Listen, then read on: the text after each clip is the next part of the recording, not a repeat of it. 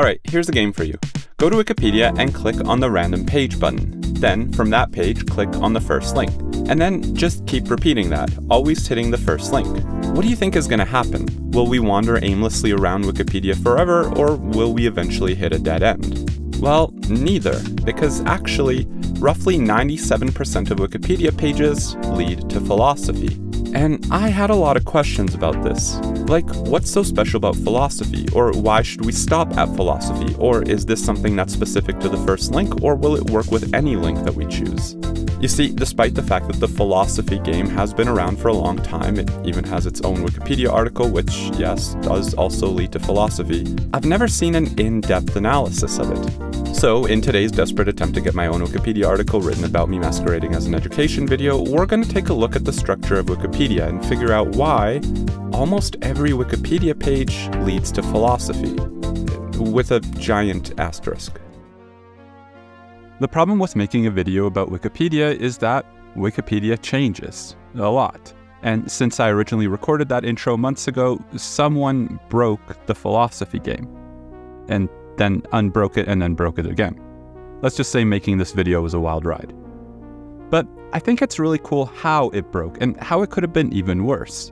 So first, let's take a look at the philosophy game as it was when it was working, and then we'll go into how it broke. Of course, things may look different when this video goes up, but the approaches we'll use will stay the same. If anything, I guess it's fitting that a video about Wikipedia is changing as it gets made. Uh, feel free to assume that was intentional. Okay, so there are in fact several types of Wikipedia link games. For example, how many links does it take you to get from, say, banana to Neptune, the planet? It took me seven. But that's not what we're talking about today. The philosophy game is, on the surface, really simple. Like I said at the start, we go to a random page and keep hitting the first link over and over. We'll keep doing that until we hit philosophy, hit a loop, hit a dead end, or exceed over 100 jumps, though that last one never actually occurred for me. We'll collect the articles and keep track of how they're linked together in order to make our network. But how we actually implement that was a bit of a pain, because telling a computer what the first link is is a bit trickier than it first appears. After all, the first link is not this, but rather it's one of these icons. Obviously though, these aren't really in the spirit of the game, so we'll ignore them. Next, we'll also ignore International Phonetic Alphabet pages and citations. These aren't true Wikipedia articles, they have slightly different URL addresses, so we'll ignore those as well. Lastly, and most importantly, I want to introduce the language exclusion rule, but don't worry, we'll also compare without this rule. It goes like this. The first link on many Wikipedia pages is just the language of the name of the article, specifically these ones in parentheses. The language exclusion rule is to disregard these. Hear me out for a second. Plastic Love is a famous city pop song from 1984 by Japanese artist Maria Takeuchi. Without the language exclusion rule, Plastic Love goes to Japanese. But with language exclusion, Plastic Love links to Maria Takeuchi, which links to city pop, which then links to Japanese pop music, and so on and so on. The first link path is now representing more what Plastic Love is, rather than what country it happens to be from. But more importantly, I think it also gives us better insight into how we, as humans, write definitions for things which is, to me, the most interesting aspect of all of this. And we've got enough to start tackling the question that started this all off. Do all Wikipedia articles lead to philosophy? Coding everything we talked about just now was not easy, but after some hair pulling, a lot of coffee, and moving to Germany for unrelated reasons, here are the 5,000 articles that I found for the Wikipedia First Link Network. And here's the star of the show, the philosophy article, right in the middle of this big chunk of nodes and arrows. This giant component represents all the articles that I found that have a path to philosophy. Percentage wise, it contains 97.3% of all nodes in the network, which agrees quite well with other estimates I've seen online. So, no, not all articles lead to philosophy, but the vast majority do. Let's take a second to appreciate some of them.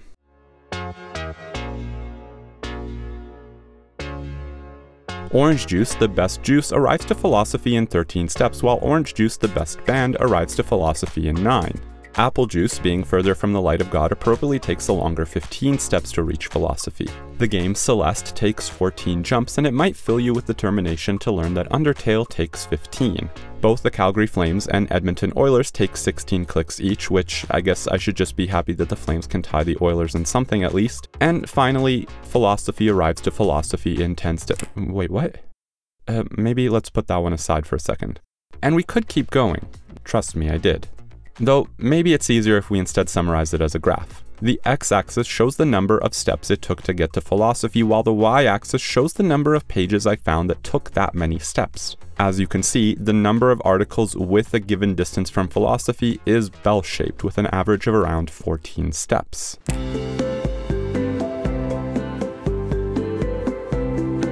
The physical structure of the network is also kind of interesting. I found 10 articles which link to philosophy. We can think of these 10 as roads to philosophy. If we color the different parts of the network according to which of the 10 roads they arrive on, we'll find that the vast majority of the network belongs to only one of three paths. 53% of articles representing mostly science and countries arrive to philosophy by way of analytic philosophy. 25% of articles arrive by awareness. These articles are mostly about institutions, whether they be political or academic, though interestingly, all of mathematics is here as well. Lastly, philosophy of logic, which accounts for 15%, had a lot of articles focusing on, well, logic, but it also has a focus on languages. So effectively speaking, 93% of the Wikipedia first link network can actually be thought of as three giant lobes joined together by philosophy. But what about those articles that don't lead to philosophy? Well, I found two articles with no links at all, ending the run. Honestly though, I'm just going to ignore these. Given how rare they are and the fact that Wikipedia actively discourages pages with no links, they feel more like mistakes to me. Much more likely are clusters that end in loops. For example, if you somehow reach the page node parentheses networking, you'll never get to philosophy because it links to telecommunications network, which then links back to node parentheses parentheses networking. Similarly, mathematical optimization and discrete optimization make a loop, and so do information technology and information and communication technology, which, yes, apparently those are two separate pages. The very largest loop I could find was a single cycle of three, the one on screen right now. Everything else was a cycle of two. But I think the fact that some pages don't reach philosophy raises an important question. Should they? Like, it seems somewhat arbitrary to me that they don't. As an example that's not really related but speaks to what I mean, dog, cow, and chicken all link to domestication, but cat links to domestication of vertebrates, a different, though weirdly similar article. Why don't they all link to the same page? I don't know. And what's more, have you ever seen what a cat can do with its body? Cats don't have bones. This is clearly a mistake. Now, I have to admit, I did do a bit of a lie. I said that the largest loop I could find was the one with three articles. And that is true if we're only talking about these small islands that don't connect to philosophy. There is actually one more loop, hidden in the main body of the network, and it's a big one. A full 11 nodes, or 16 nodes if we don't use language exclusion. And that's the loop containing philosophy. Yeah, that's right. Following the first link path from philosophy and hopping across 10 other nodes leads you back to philosophy. Which, I mean, the fact that there is a loop isn't that surprising. A good Wikipedia article should have at least one link, and so we should be able to keep clicking forever. But because the network is finite, the only way that's possible is if articles repeat, hence a loop. But at the same time, doesn't a loop make the philosophy part of the philosophy game kind of arbitrary? Why is it not the three dimensional space game or the geometry game, both of which are also in that loop? What makes philosophy so special? It turns out that the answer to that is a bit tricky. One of the most common ways of identifying important or special nodes in a network is just to see which ones have the most connections. Network researchers often call this degree centrality, where degree just means the number of connections and centrality is another word for importance. Personally, though, I like to call it the popularity centrality. Essentially, the more popular you are, the more important you are maybe don't read too deeply into that one. In my network, philosophy connected to 10 other nodes, though of course these were just the ones I found. But relative to the rest of the network, 10 isn't that high. Seven other nodes, including mathematics, also have 10 connections, and 18 have a higher number of connections. Association football is the most popular at 51, and my favorite, coming in in fourth place, is the article Moth, with 17 incoming connections. Yeah, Moth had more connections than philosophy, and it's not called the Moth game. Though maybe it should be. Now, that being said, even though philosophy is not the most popular article in the network, it is the most popular within the big loop, which is a good first step to motivating that it's not arbitrarily chosen. But it's also clear that popularity is not the be all and end all. Luckily for me. Instead, it could be that philosophy is important because of how it's positioned in the network, uh, structurally speaking. We already saw that we can kind of view the first link network as three big lobes connected together by philosophy. But can we make that a bit more formal? Well, yeah, but bear with me for a second. The corpus callosum is a thick bundle of neurons that connect to a bunch of things, but it's mainly famous because it's the bridge between the left and right hemispheres, or lobes, of your brain. So, by virtue of being a bridge, it's important.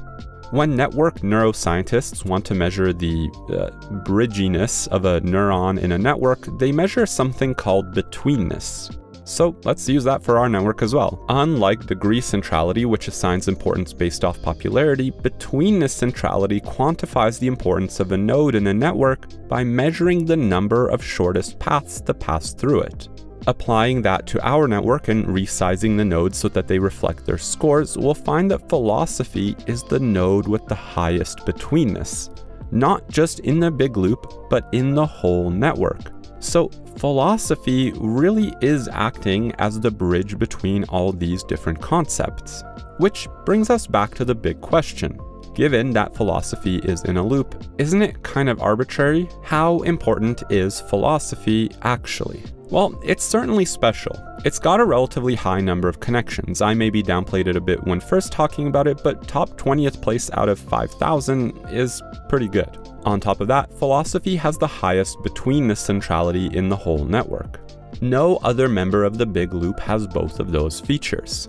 Of course, the fact that philosophy is in a loop to begin with means that you can never miss it, and you're also most likely to enter that loop on philosophy as well. So I think for those reasons, yeah, philosophy is important, and even though it's in a loop, it's not arbitrarily chosen. It makes sense to call the philosophy game the philosophy game. A nice and easy conclusion. Except. Except none of that is true anymore, because someone broke the philosophy game. So, what exactly happened? Remember how we found that Wikipedia can be thought of as three big globes connected by philosophy, and how the page for awareness connected 25% of the network to philosophy? Well, someone redirected awareness to instead point to psychology, links get redirected all the time. So that's not a problem in and of itself. The issue is that psychology is within that 25%, meaning that whoever did this made a new loop and in doing so cut off a quarter of the network from philosophy. But it gets worse. Even though 75% of articles still lead to philosophy, there's no compelling reason to stop there. It's become completely arbitrary. It's just another of the 97% of nodes that now lead to awareness the awareness game, if you will. All things considered, this attack, if you will, wasn't so bad. This is because awareness was also a member of the big loop, meaning that even though awareness no longer pointed to philosophy, there was still a path back to it. So 97% of Wikipedia pages still led to something. I'll leave it to the philosophers among us to debate whether that something should be awareness or philosophy, though I suspect they might be a bit biased. But regardless, the overall shape of the network is largely unaffected. It could have been much worse though. If someone decided to redirect analytic philosophy to somewhere else, not only could they have cut off 50% of the network from philosophy, but because analytic philosophy wasn't part of the big loop, they would have actually split the network into two completely separate halves, with no path from one half of the network to the other. The structure of the network would completely change, and arguably, there wouldn't be a star of the show analytic philosophy was actually redirected since I originally recorded that section, but the reason it didn't break the philosophy game is because it wasn't redirected back into its own lobe like awareness was. It was sent to one of the smaller ones. And this idea of attacking the weak points of a network to ruin my YouTube video is probably one of the most important and applicable parts of network research. Using essentially the approaches we took in this very video, we can identify the weak points of a network to either attack or defend it. To be clear, I'm using the word attack in a general way. A targeted attack on a city's electrical grid is obviously a really bad thing, but a targeted attack on a metabolic network of a cancer cell is a really good thing. Attacks also don't have to be targeted. A tree knocking out a power line is a random attack, as is an attack from neurodegenerative diseases like Alzheimer's on brain networks, though that's obviously a bit more complicated. Targeted or not, by knowing the structure of the network, we can predict and prepare for how these attacks will affect a city or a patient and help to defend against it before it even happens. Which begs the question was the attack on the awareness article random or targeted? Well, if we go into the article history for the awareness page, we'll find some juicy drama. On April 5, 2024, someone made a change, logging the following changed order of psychology and philosophy so it doesn't break the rule that every first link brings to philosophy. Now, I know awareness did first link to philosophy when I started gathering data in early 2024, so presumably someone had changed it at some point and this person changed it back. I think it's worth pointing out that one day prior, I posted a short preview of this very video to my Patreon subscribers. Obviously, that can't have been a coincidence, so thank you to my amazing and patient subscribers. Anyway, on May 22nd, 2024, someone undid that change and wrote See talk page for why psychology is first. Now, I'm not very familiar with this backend part of Wikipedia, so I couldn't find whatever they were referring to on that talk page. Regardless, all of this has me convinced that this was in fact a targeted attack meant to ruin my video and make me look like a fool. But the joke's on them, I'm already capable of doing that all by myself. Anyway, let's go back to the awareness page for a second. Notice that even though philosophy isn't first, it is second, which gave me an idea, and it's something I haven't really seen anyone talk about at all. What happens to the philosophy game if we don't use the first link? Well, we've done it before, so let's do it again. Go to a random Wikipedia page, click the second link this time, repeat until we hit a loop, then start again. Rewatch all of Neon Genesis Evangelion while the code runs. Okay, it's done. Generate the second link network. Realize there's a bug in the code that affected the first link network as well, and go back and regenerate that network, reanalyze and question why you do this to yourself. Repeat the previous steps, and finally, here it is the second link network. But why stop there?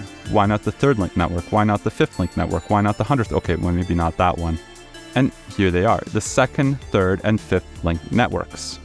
As you can see, unlike the original first link network, these are much more fragmented. The importance of philosophy is also heavily diminished. The probability to even reach it is 2% for the second link network, 1% for the third, and my program never even found philosophy for the fifth link network. What's more interesting though is how the network is changing shape. Part of this is because it's becoming increasingly likely that we'll run into a page that doesn't have enough links to continue the walk, which is why I stopped at 5. That explains the fragmenting, but not why the connected components of the network are changing shape and becoming kind of uh, stringy. What we're seeing is, I think, our collective agreement on how we discuss concepts early links try to contextualize a topic within a broader concept, while later links reflect individual properties of that topic. Neon Genesis Evangelion and Gurren Lagann are both animations produced by Studio Gainax about giant robots and making friends. Given their similarities, it's not a surprise their first couple of links are also very similar, whereas the later links reflect more their individualities. In other words, for larger link numbers, the chance that two articles point to the same thing decreases. Instead, they just continue, like a string. You can really see this effect if we choose links completely randomly. The network just looks like it dissolved in some soup. Hopefully you can see how the second, third, and fifth link networks are kind of trending towards that. The main difference being that anytime you reach a page with fewer than five links, the fifth link walk stops, while a random walk can continue with just one link.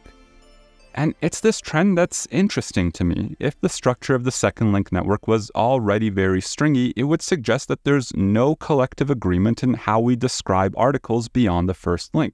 But that's not what happens. While greatly diminished, the second and third link networks still show some residual agreement, and from there gradually trend towards the random network. We're essentially seeing the functional decay of our collective agreement on how we write definitions for things. wasn't this supposed to be a math video or something?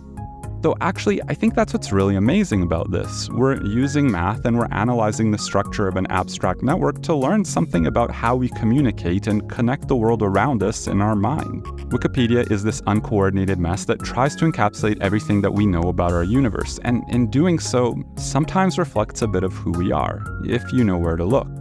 Looking into Wikipedia is kind of like looking into the night sky. Staring into either for too long makes me start to think, where's my place in all this? And that's when I realized maybe I don't need a Wikipedia page about me. Maybe the connections I was looking for were already all around me. I guess what I'm trying to say is, it's a great big and amazing universe, but you're what makes it mean something. Especially if you're signed up to my Patreon.